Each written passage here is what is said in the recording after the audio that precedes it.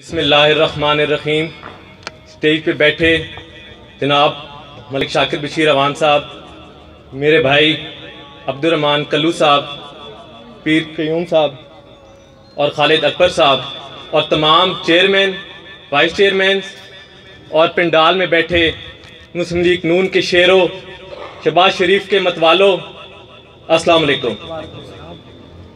सबसे पहले मैं आप सबका शुक्रिया अदा करता हूँ और आप सबको खुश आमदीद कहता हूँ कि आप आज सब इधर तशरीफ़ लाए और मलिक वारिस कलू साहब के साले सवाब के लिए आप लोगों ने आज जो दुआ की और हमारी दुआ है मलिक वारिस कलू साहब को अल्लाह पाक जन्नतफरदोस में आला मकाम अता फरमाए।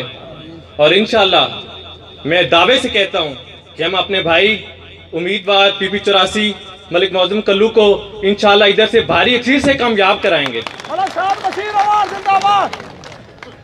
दस दस दिन पहले पार्टी लीडरशिप ने मुझे यूथ विंग ज़िला खुशाब अपॉइंट किया और इन पीपी चौरासी की कंपेन अपने यूथ यूथ नौजवान भाइयों के साथ भरपूर तरीके से चलाएँगे और इन मैं मौजम भाई को और अब्दुलरमान भाई को ये यकीन दिलाना चाहता हूँ कि इन हम अपना तन मन धन लगा देंगे और उनको भारी अच्छी से कामयाब कराएँगे। वक्त की किल्लत से मैं आप सबका बहुत शुक्र गुज़ार हूँ कि आप लोग इधर तशरीफ़ लाए। और जैसे कि पहले मुकर्रीन इधर आप सब बता रहे थे कि ये हुकूमत तरीके इंसाफ की तीन साल गुजर चुके हैं। उन्होंने, आप सब बखूबी वाकिफ़ हैं कि तीन साल सिवाय बातों के उन्होंने कुछ डिलीवर नहीं किया। और ये जो मुस्लिम लीग नून ही वाहि जमात है, जो पाकिस्तान को आगे तरक्की की राह पे गामदन कर सकती है, और